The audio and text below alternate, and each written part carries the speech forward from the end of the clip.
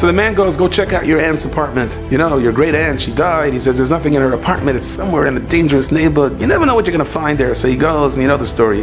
He finds a suitcase, and inside there's a painting and there's a violin. And there's a note, be careful, this is a Picasso and a Stradivarius. And he runs to this antique dealer, person who's a master of fine arts, and says, am I rich? Is it a real Picasso? A real Stradivarius? He says, yes, there's only one problem. What? Picasso made the violin and Stradivarius did the painting, and none of them were very good at it, so you can just take it home. The greatest bracha in our lives is for us to stand up to our own Nisyanis. Who we are is the most beautiful thing in the world. You're davening Shmoneh Esrei, and a whopper of a thought goes into your mind.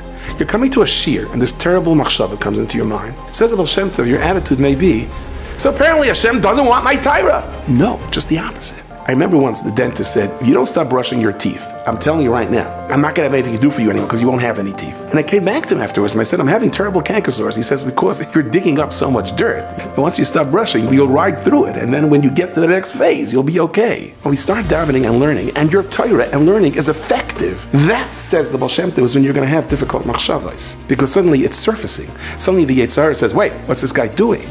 Don't stop. That's the simon to move on. The Lashon of the Zohar Kodesh is when a snake attacks you in the middle of davening, that means that the Bas Melech, the princess, is behind it. The greatest moment in your life, the greatest key to bracha is when you're trying to daven and you're trying to learn and you feel you're getting whacked on your head. And the Yetzer Hara wants to tell you, Hashem doesn't want you. And I say, it must mean that I'm making waves. I am moving on.